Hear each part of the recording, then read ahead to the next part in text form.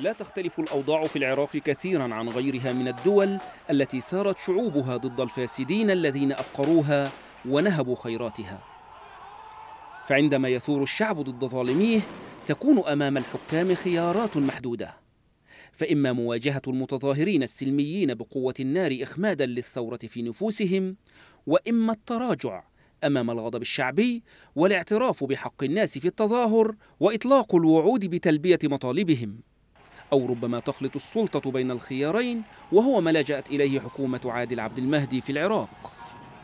فبينما تفتك الآلة الأمنية بالمتظاهرين السلميين مخلفة حتى فجر السبت أكثر من مئة قتيل وآلاف الجرحى ناهيك عن أعداد غير معروفة من المعتقلين يخرج رئيس الوزراء عبد المهدي ليطلق الوعود للعراقيين بتحقيق مطالبهم.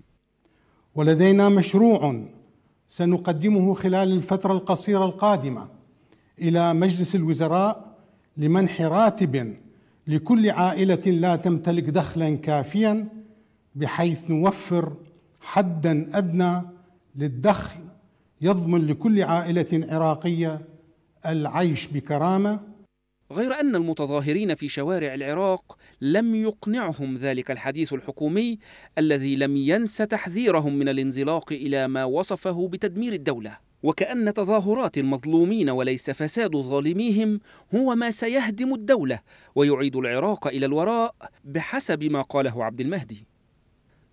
المتظاهرون من جهتهم رفضوا دعوة أطلقها رئيس البرلمان للتفاوض مع الحكومة وعرض مطالبهم.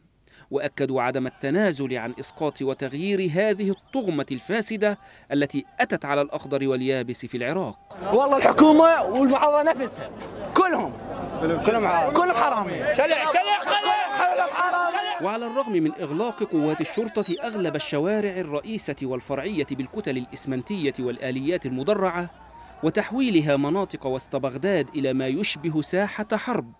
إلا أن المتظاهرين بدوا أكثر إصرارا على مواصلة الاحتجاج حتى إسقاط الحكومة والبرلمان وتأسيس عملية سياسية حقيقية. ترعى مصالح العراقيين وتحقق طموحاتهم المشروعة وتعيد للعراق هويته العربية.